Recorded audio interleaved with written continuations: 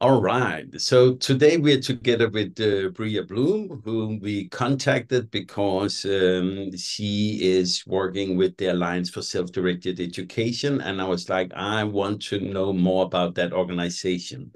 Uh, but first, uh, I got an email around an hour before uh, the call today from Bria where she was like, "Ah, I might be a little tired because you have been up all night with your baby. So let's start there. How was your night?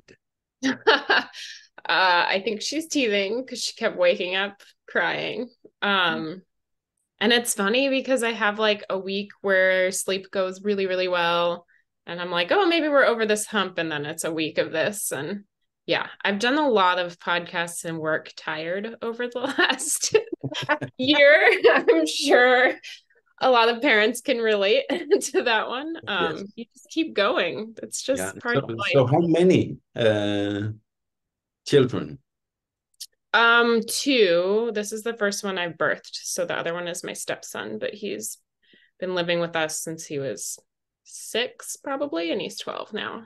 Yeah. Ah, wonderful. Yeah, I have kind of the same experience. Cecilia had her first uh, without me, and we met when uh, our daughter is uh, Wow. was five, uh, Mm. and I adopted her later, and it's just a wonderful experience. But also, kind of, you just get thrown into uh, kind of being a parent already, and that Yep. was for me that was wild. I needed to change my life around from being a, a young party animal to suddenly have responsibilities where normally that might be like a nine month leeway. Can I say Yep. you took your time? yeah, I did. More than nine months. and, and I took, I absolutely took. No, Yeah. you could check in and out Oh, yes. over I, the first oh, years, yes, Do it- whatever you wanted. And it you was could do wonderful. The stepdad thing. you were not too hungover. I did not get to check in and out. We were pretty adamant that he wouldn't go to school when he moved here um, for many reasons, but it was like immediately I quit one of my jobs and stayed home with him. And yeah, immediate mother situation and did Wow. not get to check in and out. So that was a harder adjustment. I agree. Having the nine months and for some people, the planning before that is an easier thing to process, but So, not always what you get. No. Ha, And then still it is it is a revolution when the and it's still a revelation. Yeah, at least you I can didn't prepare and you can read all the books and you can knit all the little cute things but at the end of the day when the baby arrives it's just going to completely run over your life and change everything. Yeah. and they're all different too. So. Exactly. But i think the first one this moving of the center of your life and your attention and your focus from yourself which makes perfect sense before you have children mm-hmm. you you, you do you then suddenly you do someone else. Something else is in in in in the core of what happens. Someone else is even the sleep now we actually started this conversation about sleep. The fact that you can only sleep once someone else is sleeping. Right. you know Yeah. you, you don't have a choice. It's a basic thing. You need to sleep but actually you're not allowed. You can't. There's no way mm-hmm. you're allowed to fall asleep while your baby is awake. So that premise that even your physical needs cannot be met they are dependent on this other person it's a revolution and that revolution happens the first time Yeah. yeah. it's game over after one hmm Bria, for the people who don't know you and the work you do, um, why have you ended up working with the Alliance for Self-Directed Education? Yeah. So I essentially was an unschooler growing up. Um, we didn't have or use that word. We talked more about homeschooling. My dad read like John Holt and the Teenage Liberation Handbook. Those were kind of the two things accessible widely at that time. Um, and then the homeschooling movement was very uh, religious and conservative, which there's still those pockets for sure. Um, but that was like my realm of understanding of what homeschooling was. Um, but that's not what it was for us. So I kind of already like I like to think that I had those values and that way of seeing the world in me. Um, and I really wanted to work with young people who are learning. I started out in preschool because it felt like the place where the school system hadn't quite touched it. Yeah. Um, but it really has, at least in the US, it has.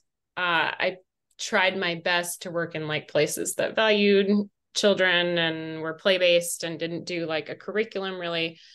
Um, but still there's still that thing in us that thinks the kid is ours to control and mold and that's very evident in preschool a lot of the time especially because they're even younger so it's like even more of an excuse to override their needs with yours um so i worked in preschool for a while and then i just i kept tuning into the alternative education realm i didn't quite know unschooling very well yet and i met peter at like a conference in where I live now, which is Portland.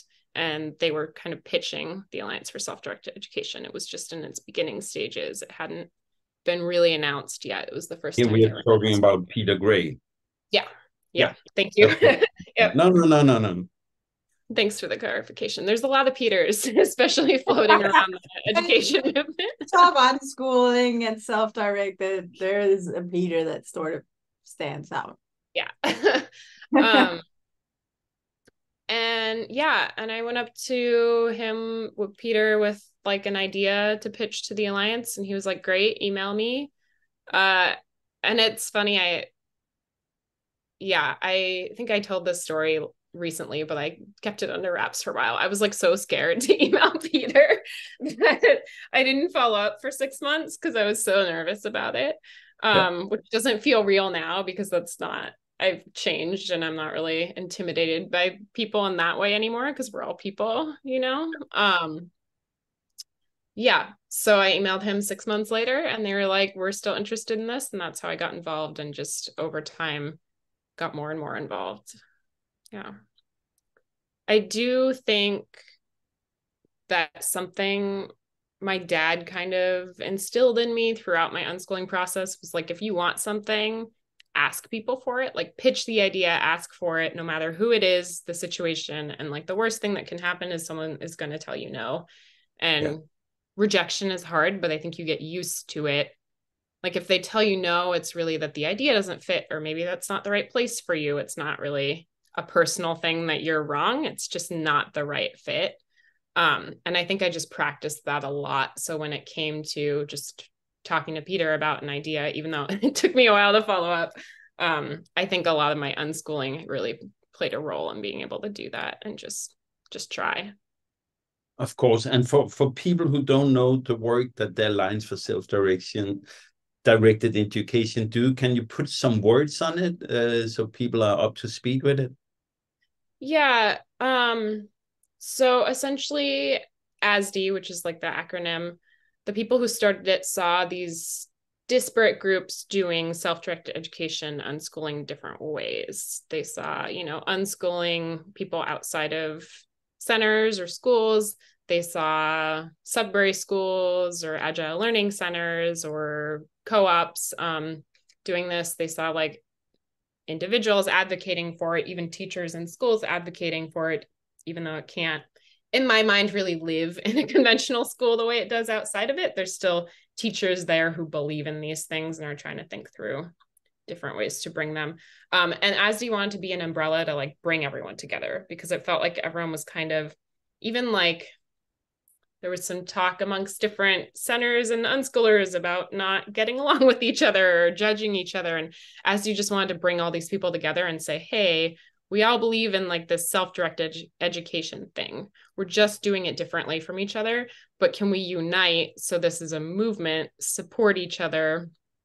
Um and then yeah the essentially like supporting each other and uniting under one umbrella will help spread the movement because it's a lot harder when you're like isolated or oh, yeah. when you're fighting each other or bad mouthing each other, which some people were doing, still do yeah and also the fighting of each other and the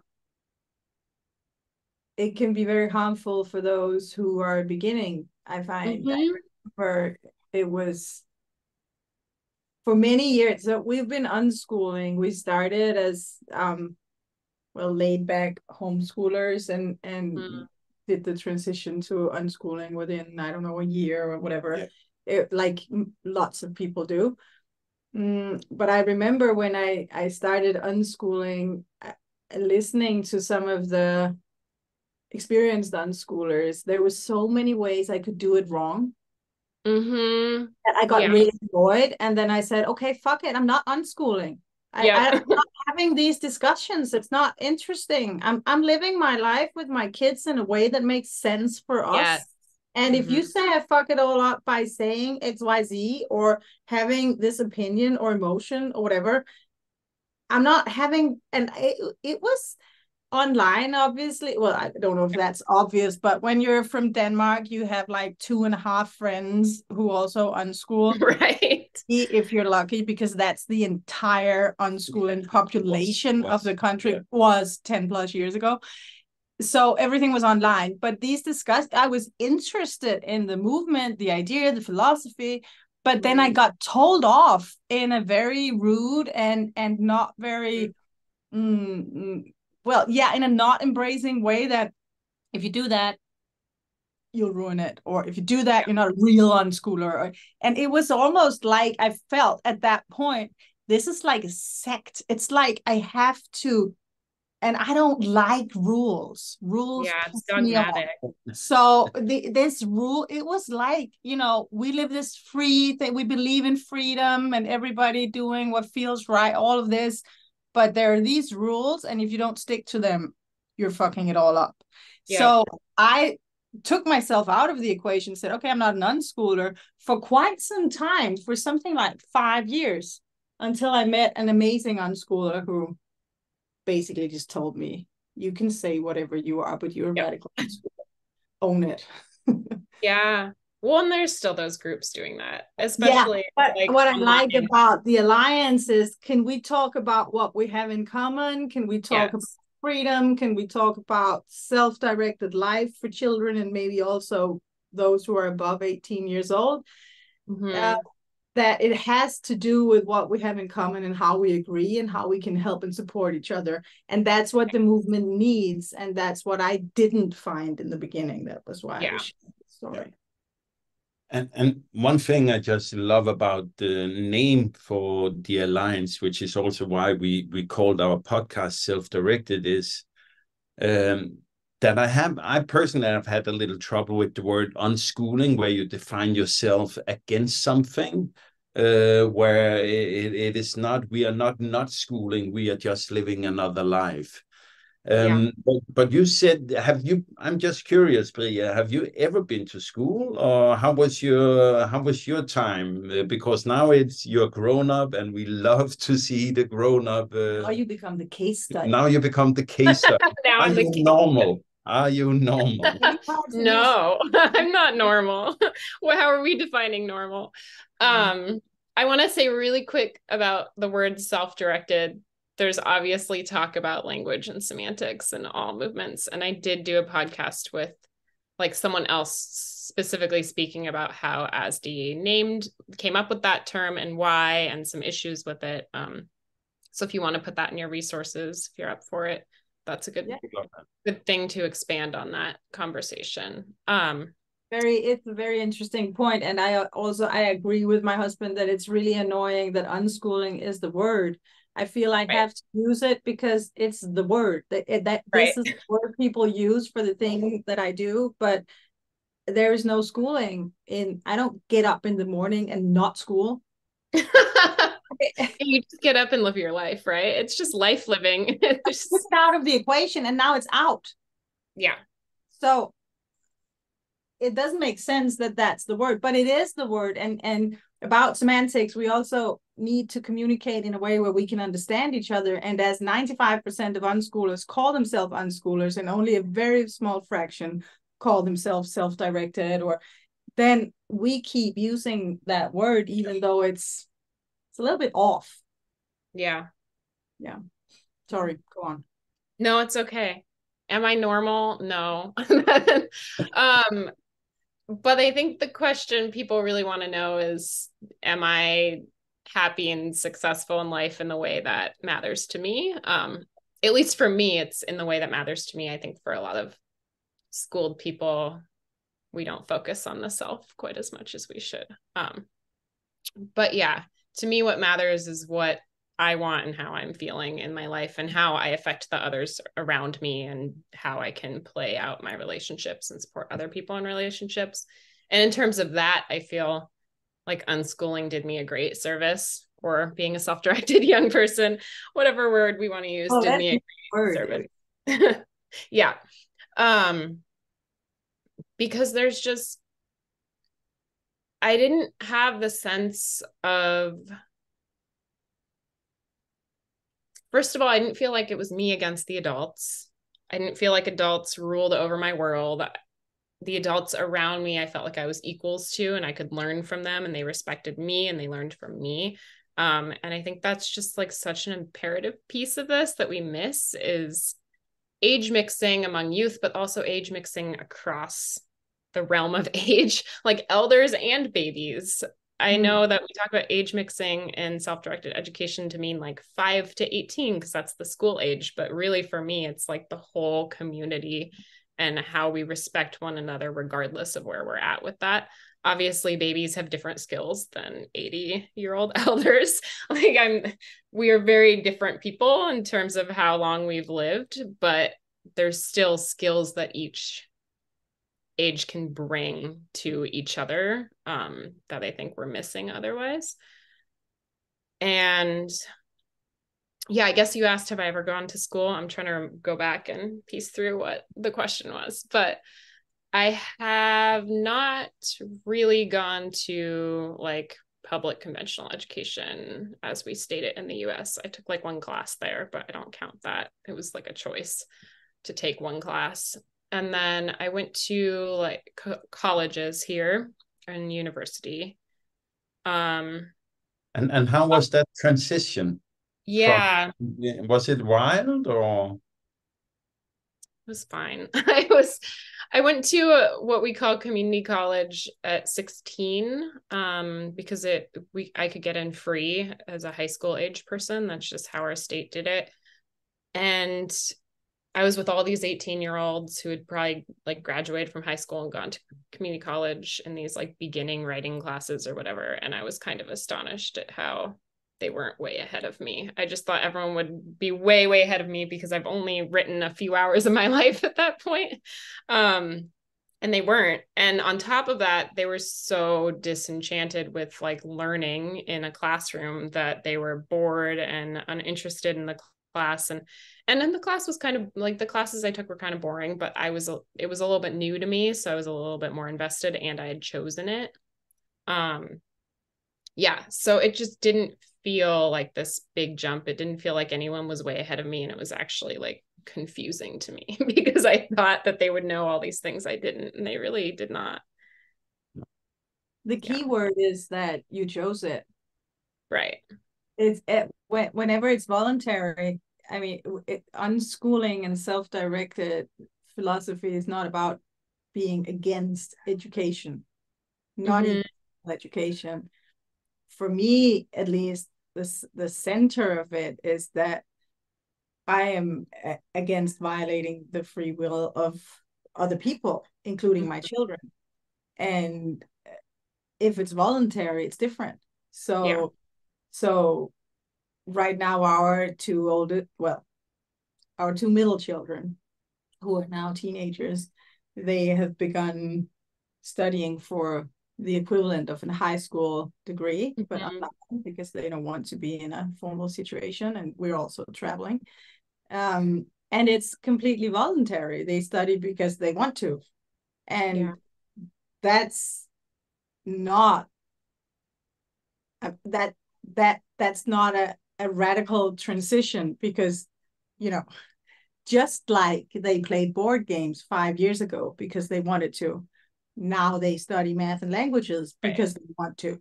And and as it's voluntary there's no violation of their person involved. And mm. and i think therefore the transition is not that radical. Yeah. it's so different with the teenagers than with small children you tell them what to do and they have to obey all day and they don't know why and no one's telling them why and maybe no one knows why and no one knows why. That's the key. Well, yeah. Yeah. Well, yeah. Yeah. Yeah. I do think there's levels of voluntary, even when we're talking about this, because you can voluntarily go to college, but would you voluntarily go to college if you didn't think that college would get you a degree to get you a job in the system we're in?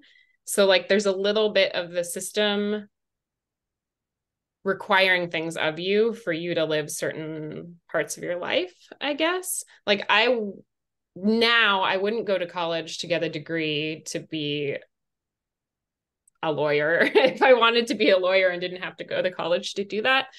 Um, but because college is there, it's the thing we've decided you have to do to get there, then you need to go. And I think if there were other paths, like you can get to being a lawyer through college, you can get to being a lawyer through apprenticeship, you can get through there through self study. Like if we had all these different choices, I think there's even more autonomy in that because the society is giving you different paths to get to the same goal.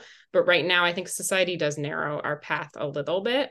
And there is some like pressure to do that in order to get to the thing you want to do. I, I am uh, on the area you're talking. I am very lucky that one of the few places, there are some places in different careers that you can be in where there still is this apprenticeships kind mm-hmm. of uh, vibe over it. Uh, I was um, interested in media and ended up as an editor of a youth magazine. There, you can still be lucky that you actually can get in because you are creative or can write.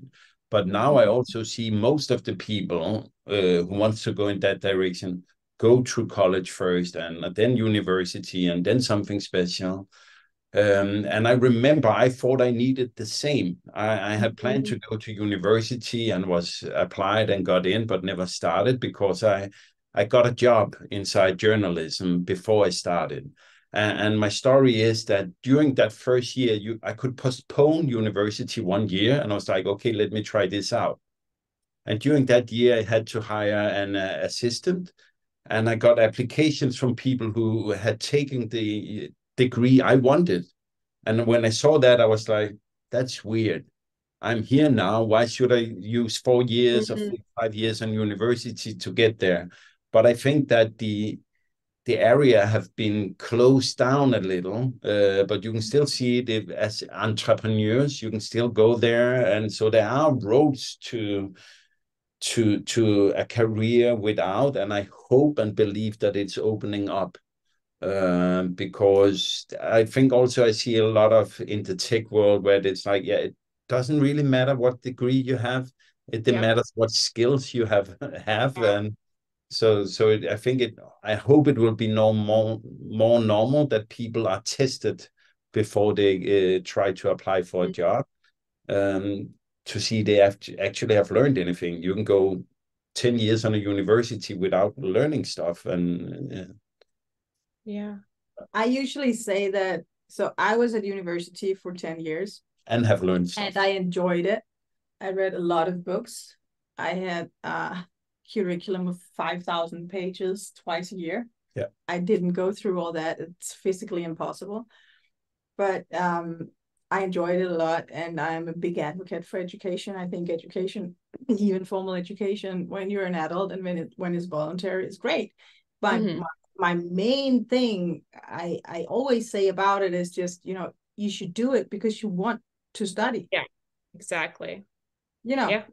the only reason to study is to study. If if you wake up in the morning with a hungry brain, then feed it.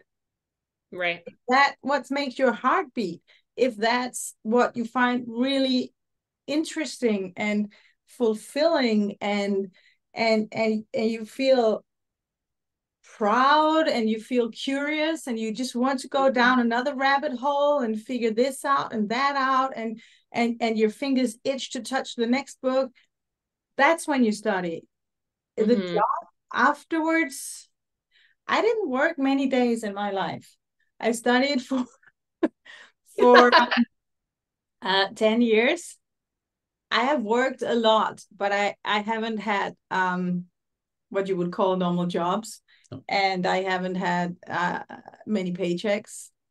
But it's not. I'm. I haven't been doing my nails and looking at the horizon either.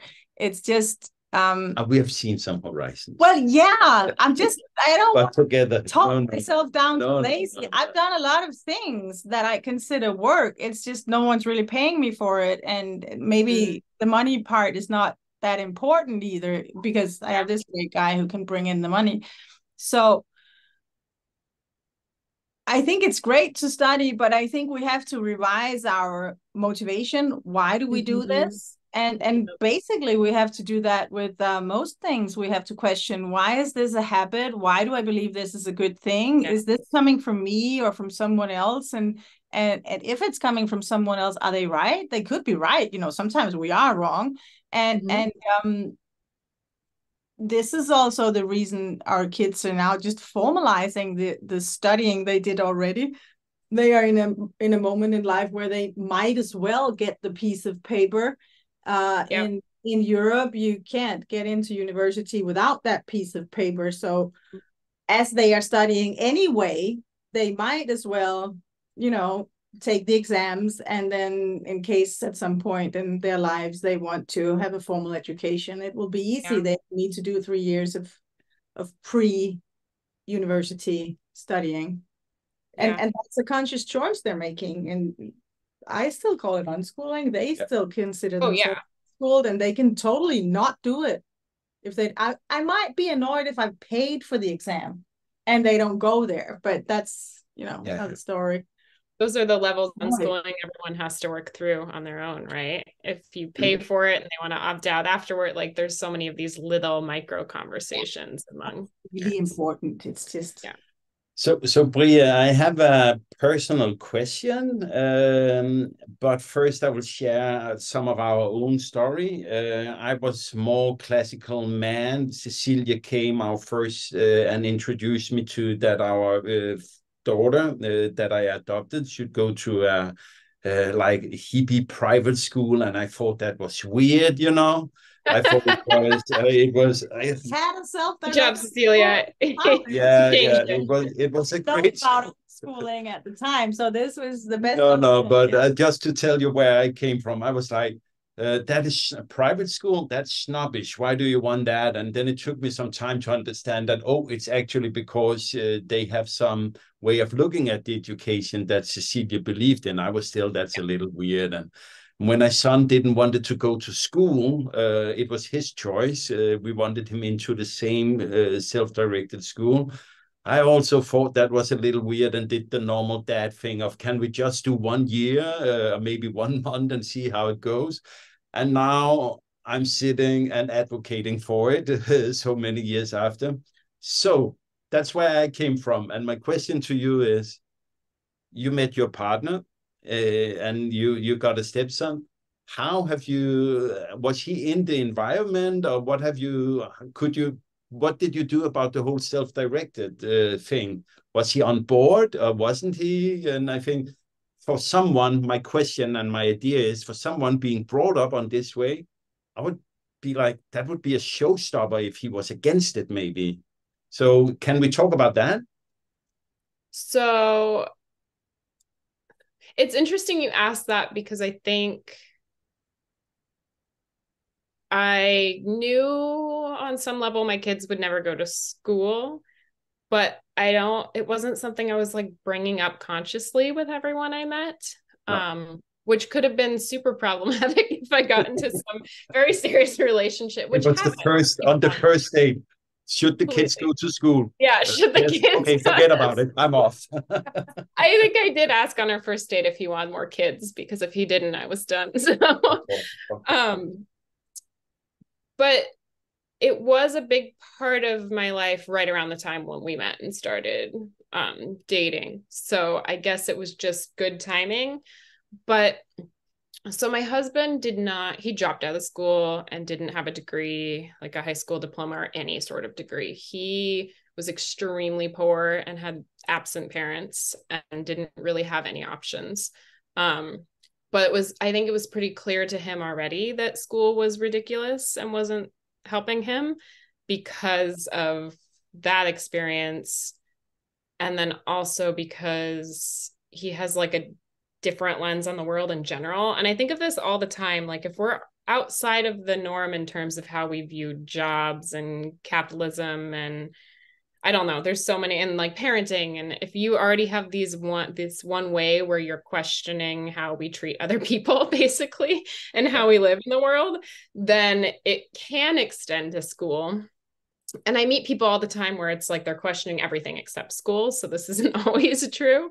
It's so uh, though, isn't it? It yeah, it drives me.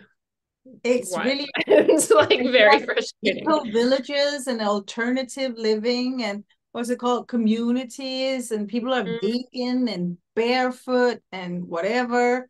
And attachment parenting. They put themselves into the car, they buckle up and they drive the kids to school and leave them there. So because right. freedom is only freedom is only for adults. I don't know. It's just weird. Yeah. Yep. Yep. It and it is super weird, but I think there's like openings at least for people thinking in that way. And I was just getting involved with ASDE when I met him. So like my first meeting with ASDE was when I was visiting him. We were we lived hours away from each other. Um, so I was like sharing all of this and really excited, and he was really open to it. So it was pretty natural, I think, his understanding of where I was at. And he already had this idea that school didn't work um, and that school kind of feeds into like you know this capitalistic lifestyle where we're just working to make money and we're miserable um, at least here in the us and yeah and in europe and in Europe. Yep.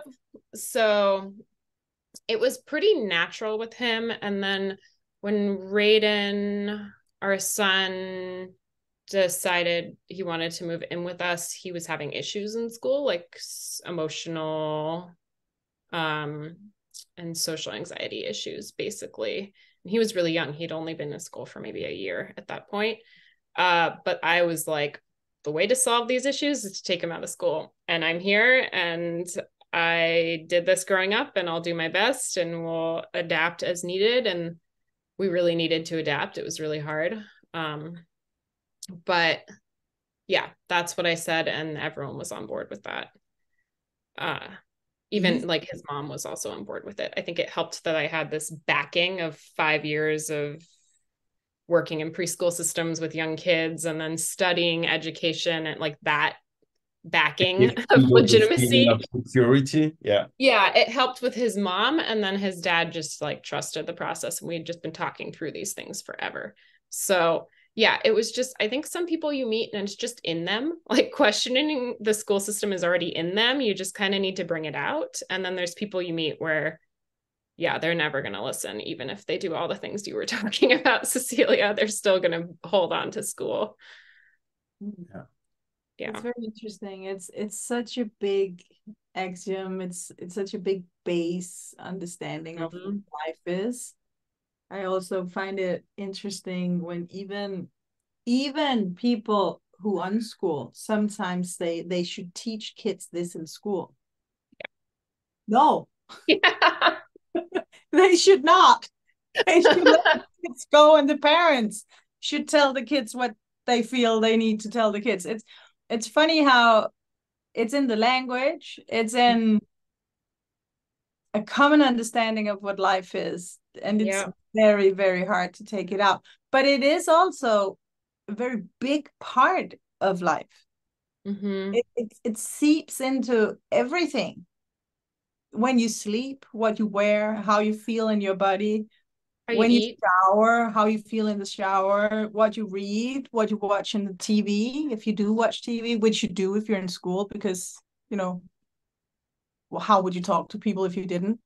Um, it's it's what books you read. It's it's just where you live. When do you go on a vacation? When do you go on a date? when do you go to the museum if ever can you visit your grandparents it's all elements of life are are very much influenced by school and school also spreads out i, I find it mm. i don't know if you have that in the states but on top of homework in europe at least in scandinavia we have play groups this is social fascism in my opinion that the school dictates who the kid has to play with after school.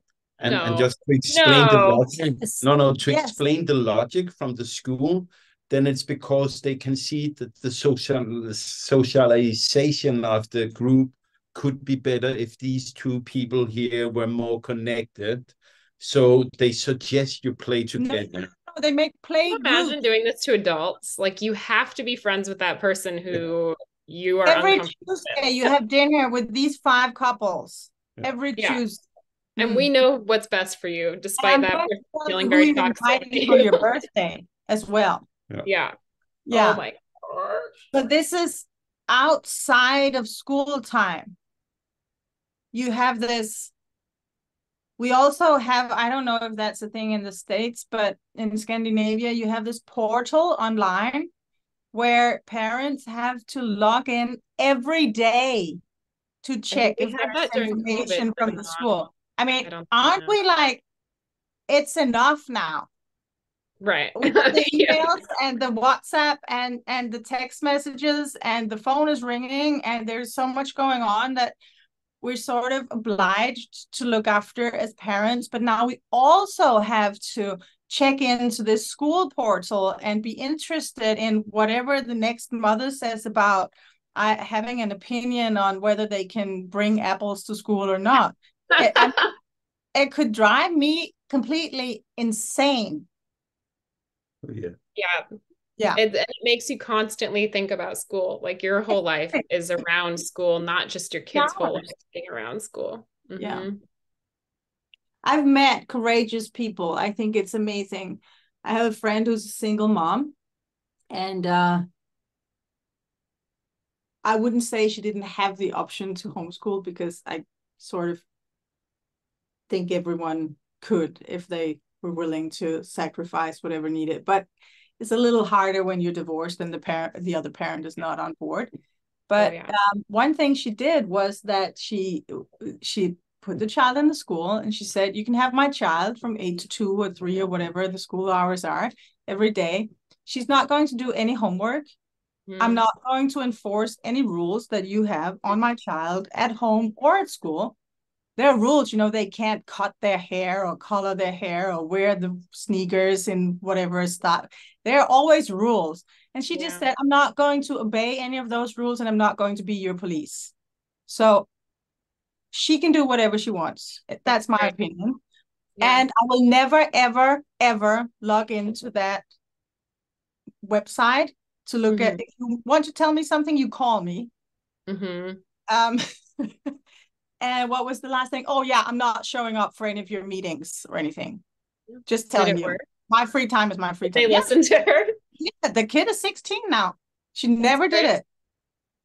And, well, Yeah. she, she did have to fight for it, but it can be done. And that's why I'm sharing the story. At that, at Mhm. least, you know, you can say that the free time, the after school time belongs to the family, to the child, and and to Yeah. your personal life. Yeah, but but I think the story you're telling in me it touches upon the non-questioning, which is uh, even though I Mhm. first thought the whole unschooling homeschooling was strange, I have always been questioning uh, stuff, and I I find it that that's what I find most wild about the whole school system is that people tell to you that this is how it is, and then they don't question if it's right or if it's wrong. Um, but I would love to go back to talk a little more about the the Alliance for Self-Directed uh, Education. So, if people are like, okay, the SD sounds cool, what can what can the organization do for people? What do people get out of knowing it exists? Yeah, I mean, it depends on what you want and what you're looking for. And it's always evolving. So there's like a bunch of projects we're thinking about working on now that aren't quite there yet. Um, but right now we have bi-weekly, I think we were publishing two a week, um, articles and videos on Tipping Points magazine. And that's just like stories from people like you and people like me. Um, just doing what we're doing, living life however it looks for them. So it's really varied. and eclectic what people are sharing on there. And then we also have videos from our SDE weekend, which are it's our once a year conference. So we charge for that conference. We make it accessible to people who can't pay, but we also take all of the videos and we release them for free over time because while we need to like survive as an organization, our goal is really just for all information to be accessible and free because people deserve it no matter what they can or cannot pay. Um, so yeah, we have those videos and those articles coming out twice a week right now. And then we we're growing, it's actually pretty large, but we have our resource directory.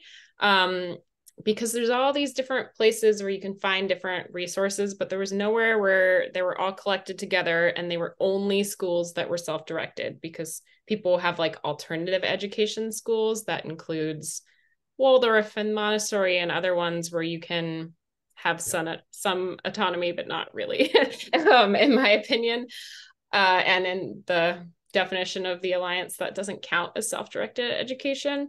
So we're trying to really vet and see which schools are allowing the kids and supporting the kids in doing what's right for them and only listing those places. And it's global, so it's all over.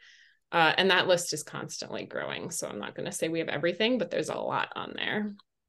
And then it's also, you know, books, podcasts, coaching, consulting, um, research, studies, all of that is on there and yeah, constantly being added to. Uh, and it's all searchable, and there's also a map for you to look at things in your area.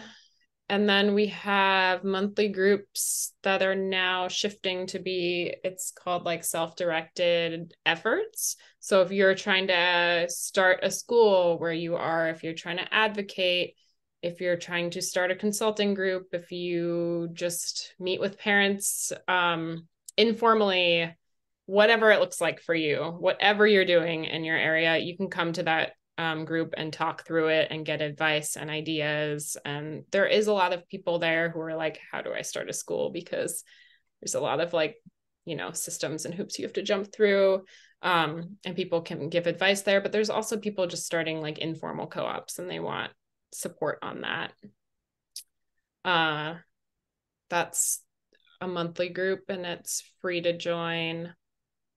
What else? We're publishing books right now. We published our first self directed education fiction earlier this year. And then we also have a stack of Peter Gray's books that we've published, and we're looking into a few more. It really like we've heard from authors that if you go with standard publishing houses they really water down the stories um, and what you're trying to do so we wanted to create something that wasn't going to do that and could be a place for people who can't find a publisher elsewhere don't necessarily want to self-publish uh, but want sort of yeah some sort of name and collaboration on it because we have you know editors that work with folks too and then we have the SDE weekend that's once a year. It's a global conference. We try and accommodate every time zone we can.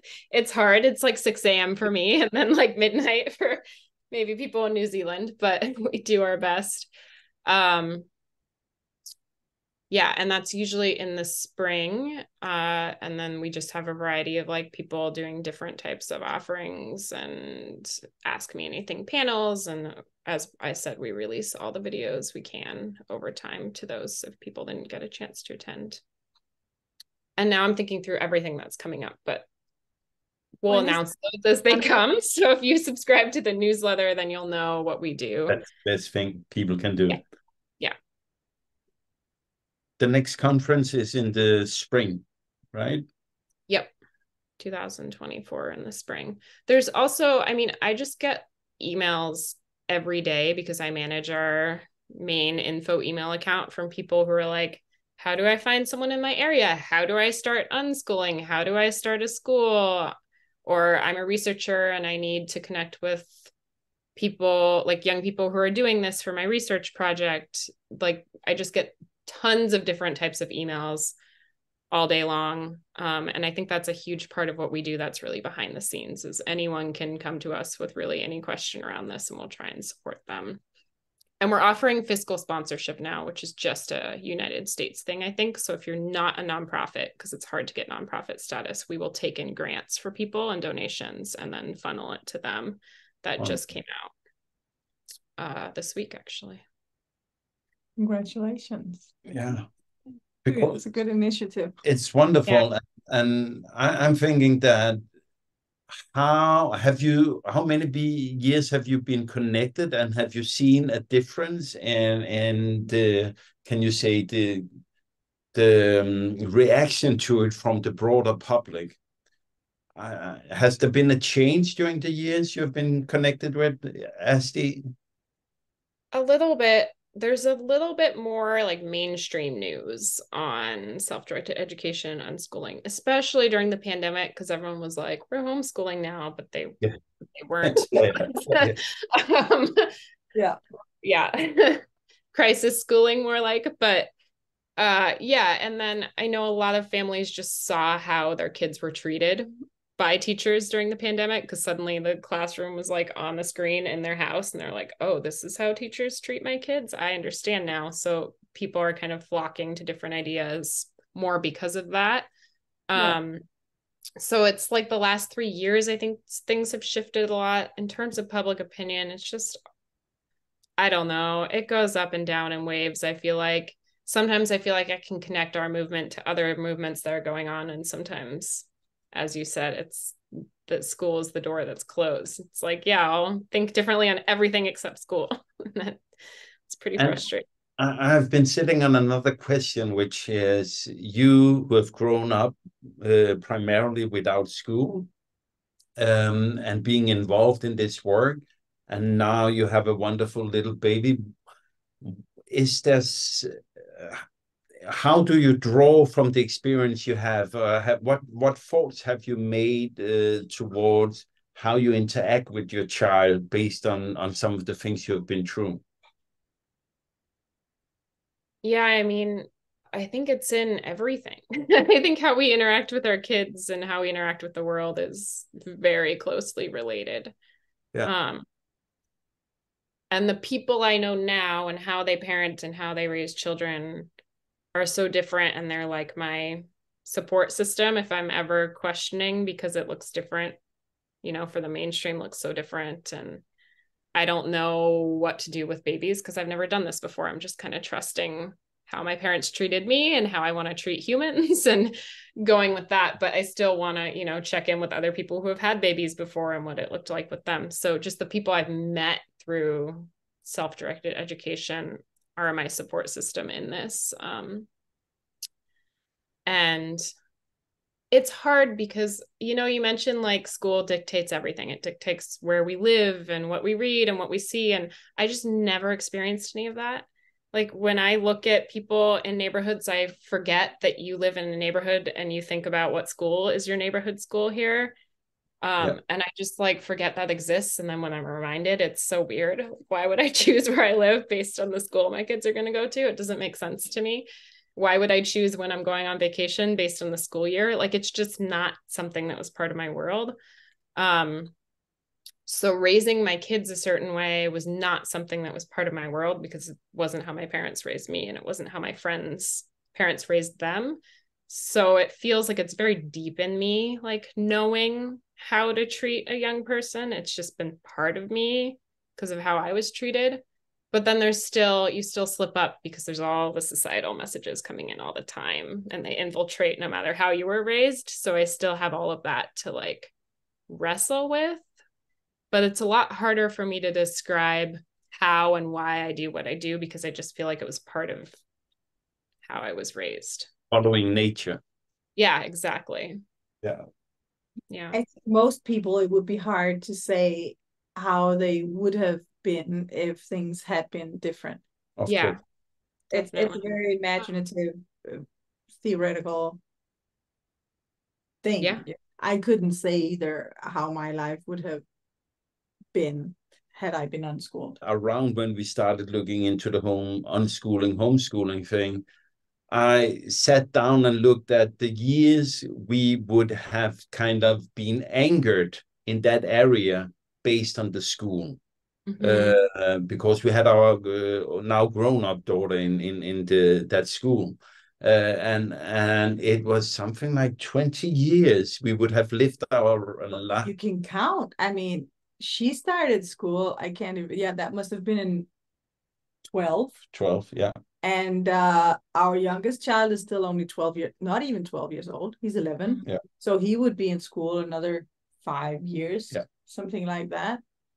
So that's like until almost 2030. I mean, we're sitting here in Spain, very far away from. Very far away, full time traveling for five years. so, No, but I mean, we would still live there, and the Yeah. prospect would be to live there another at least five years. absolutely. Yeah. And that is just wild that you, by choosing a school, choose to be not to be anchored to this place for so long. Mm. And I mean, it's yeah, it just baffles me now when I look at it. But I was ready to do it at that point Right. because that was normal. That was what everybody did, you know. And I do think that if there's no, like, if you're in a place where you feel super isolated from other self directed people and you want a center, then moving to go to a self directed center, like the only one around, makes a lot of sense. So I get why people make that choice. It's more like this is your neighborhood school and it's on every single for sale sign in our area, like what the neighborhood school is. And I never even considered that as a factor for where I would go. Yeah. So, um, before we have been talking around for an hour now, and I'm thinking about rounding up the the the talk here, but I would like you to also mention some of the other work you do betri- beside uh, ASDE and how you help people who who want to contact you. So, Yeah. I mean, the work I do right now, there's lots of different things. um, I like work with parents and families if they want to, you know, work through some of these things you're talking about, just starting unschooling or questioning unschooling and how to have support in what it looks like to kind of deschool and untangle what we've been told and rethink how we treat our children basically and what our relationship with them looks like. So it's like parenting and kind of self-directed education coaching. Yeah. Um, but that I use that term super lightly because it's different for everyone. It's, I don't have steps. I don't have like a curriculum or a system. It's like what's going on for you in your situation right now, and how can we talk through that and just support parents and getting to a place where they just feel better about how they're interacting with their family and their young people. Um, I also run a flying squad for youth here, and I co-run, co-support the and flying squad. when you like- say flying squad, I'm like airplanes, So what are we talking about? I'll get there. Yeah, it's the most ridiculous name, but that's why we love it. Um, so especially since we were talking about being anchored to a, a space and a schoolhouse, flying squads are basically just like self-directed communities that come together without a building um, without staying in one place. So they're in different cities. So it's like i have one in portland there's one in Rom- like Cluj romania. Um, they're all over but they're in different cities and we come together for the day and we just use the city as our place to live and learn and be and the kids we don't have any it's not like a field trip. We're not like okay today we go to this place and tomorrow we go to this place. It's like the kids decide right there that morning where we're going and the adults don't decide for them. And they kind of you know they have to agree they have to argue it out whatever it is um, come to a consensus. So there's a lot of those skills being built too but it's it's their place it's their time and they get to decide. We take public transit. Not all squads are like that um, but yeah, we're limited by public transit and we're not paying a bunch of money to do everything every Oh. So the idea is to like get kids out in the community and take back the space and say that young people deserve to be in the community too during school hours and you know pushing on people's comfort level with having young people out during school hours and it's just like such an easy thing to start because you don't have the overhead of like an, a building and a nonprofit and all these things we have to get if we want to start some sort of school or center. Um, so they pop up everywhere because they're so easy to start. It's a wonderful idea, and that's something people can get involved in if they want to start a flying squad as well. Yeah, we have flyingsquads.org is our website and it's like it's like run by the collectives. So Brooklyn was the first flying squad and I was the second and we me and Alex kind of got together to start sharing what we were doing, but now it's just run by everyone who does it. So you'll see on there you can contact different squads to ask questions and see how they get involved. What what what I loved about what you said about taking back the the, the city space is when we we travel full time and been doing that for five years and then you really get out and about in in normal lifetime when when people are in school and at work and it's crazy how the cities are sometimes almost deserted uh, in, yep. and it's a little like you're walking around so what are what are this overpopulation thing people are talking about there's no there's no one no. here everyone's in their office buildings are empty and their homes. and there's very much no one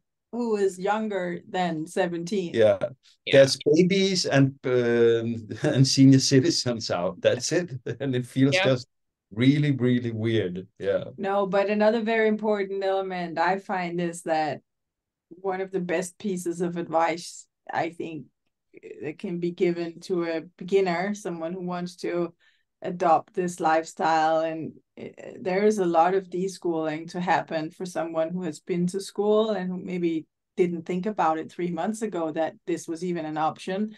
Mm.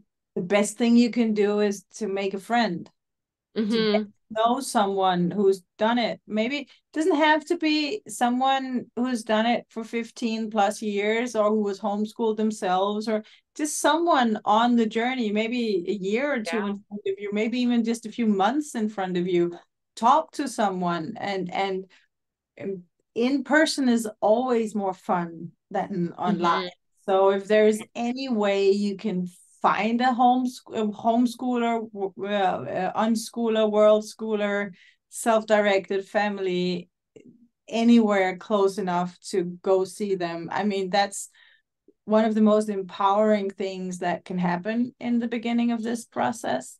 We mm-hmm. didn't have flying squads in Copenhagen, but we did have was it monthly? Think we had monthly, like every first Friday of the month or whatever. Sunday, I can't even remember the weekday. It's been a while, but we just opened our doors to anyone homeschooling or anyone even interested in homeschooling. The only rule was that they had to have actual children that they wanted to homeschool. So no, no, no dreamers and no journalists, and and then everyone could show up and we and hang out in our gardens basically many people in our we had so many people come in and out and it was actually at some point too much because once a month if it's 50 people it's a lot so Gosh. we uh we we yeah. shared it with another family so it was every second month that helped a little bit yeah. but just to say that if someone sits there and thinks what can i do for the community Mm. It could be open your doors, or it could be take an initiative that makes it available for beginners or even just curious parents who think they could never do it, but they might be interested anyway, to meet real people and also see real children, real yeah. case studies, real human beings running around that didn't turn square or green or anything else weird uh, that looks like real people. Yeah, and I will say ASDE has a member map. If you are a member and you opt in, there's a map that will show up where different members are so that they can contact each other and have that connection you're talking about. And I get people emailing me saying like is there anyone in my area and I can like search and ask for permission to connect people mm-hmm. too. So, mm-hmm. yeah, cuz that really is if you're completely alone and isolated, how do you find at least one other person in your area to support you like that's important and i think that's part of what clients trying to do. What? It can be a complete game changer. Definitely. Have someone yeah. to talk to. Yeah. Yeah. Yeah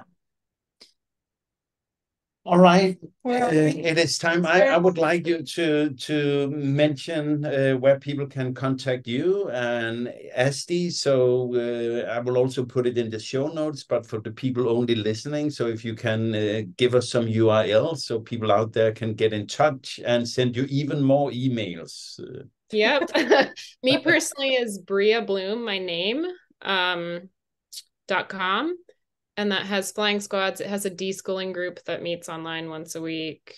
It has my coaching. It, it has a bunch of stuff. Um, and then ASDE is self-directed.org.